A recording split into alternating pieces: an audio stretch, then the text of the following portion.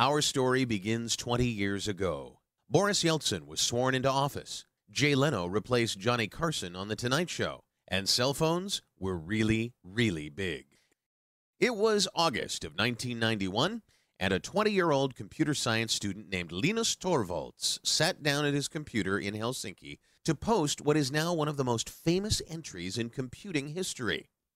Hello, everybody out there. I'm doing a free operating system, just a hobby, won't be anything big and professional like GNU. It probably will never support anything other than AT hard disks, as that's all I have. Well, word of Linux open source project quickly spread around the globe, and developers from all over contributed their code. Linus named his OS kernel Linux and chose a penguin as its mascot after a little incident at the zoo. He soon made a very important decision that would shape Linux's future just as much as the technology. He chose the GPL license created by a visionary named Richard Stallman. The Linux kernel, along with the GPL license and other GNU components, revolutionized the computing industry with a few very simple yet very important freedoms. The freedom to use the software for any purpose the freedom to change the software to suit your needs, the freedom to share the software with your friends and neighbors, and the freedom to share the changes you make. These radical ideas fueled its spread around the world and, somewhat paradoxically, its rise from a hobbyist experiment to the foundation of a large and thriving commercial ecosystem.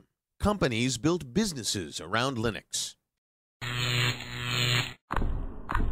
In 1999, Red Hat's stock tripled as it became the first Linux company to go public. That same year, IBM spent a billion dollars to improve and advertise Linux.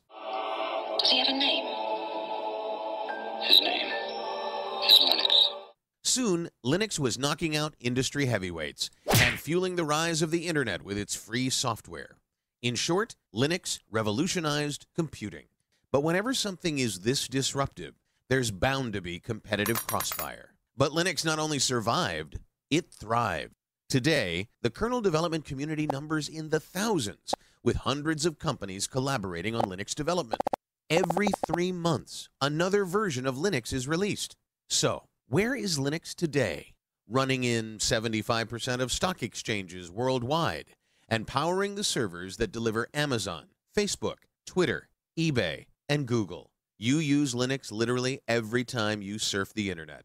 It's in your phone, in your TV, running 95% of supercomputers, and in many of the devices you use every day. Linux is everywhere. And the Helsinki based programmer who started it all? He orchestrates this worldwide army of developers from his home office in Portland, Oregon, as a fellow at the Linux Foundation. As we celebrate 20 years of Linux, we can all see ourselves in its story. Thank you for being a part of its first 20 years.